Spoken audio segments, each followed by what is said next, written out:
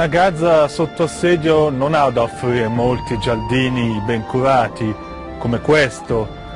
E questo è l'unico posto in tutta Gaza in cui si può fare una camminata a piedi nudi su un tappeto verde. Rimane pur sempre un cimitero, eppure per gli adulti questo è un posto dove poter meditare, dove poter riposare. E per i bambini è un luogo di gioco, ci giocano a pallone sull'erba, ma rimane pur sempre un cimitero.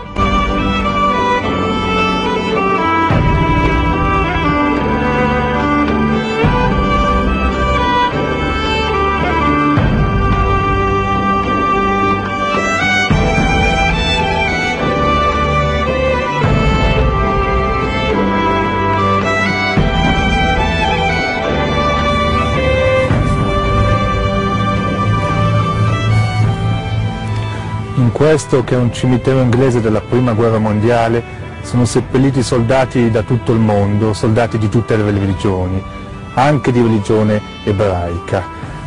La cura con cui viene trattato questo cimitero e queste lapidi è assoluta e dà un po' il senso di qual è il rispetto dei palestinesi di Gaza per la morte, per la morte di qualsiasi persona, anche degli ebrei. Non si può dire lo stesso di, dei soldati israeliani. Questo cimitero è stato bombardato nel gennaio 2009 e molte lapidi, comprese di soldati ebrei, sono state danneggiate dalle bombe.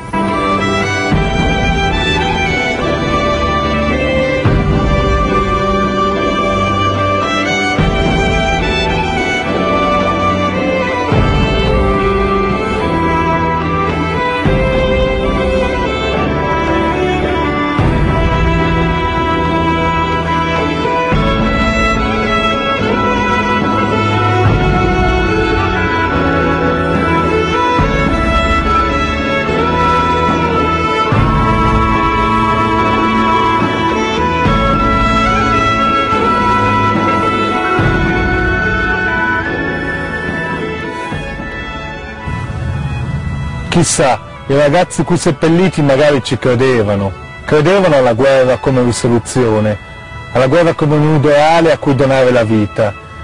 Io che non credo alla guerra non voglio essere seppellito sotto nessuna bandiera, semmai voglio essere ricordato per i miei sogni. Dovessi un giorno morire, fra cent'anni, vorrei che sulla mia lapide fosse scritto quello che diceva Nelson Mandela. Un vincitore è un sognatore che non ha mai smesso di sognare. Vittorio Rigoni, un vincitore.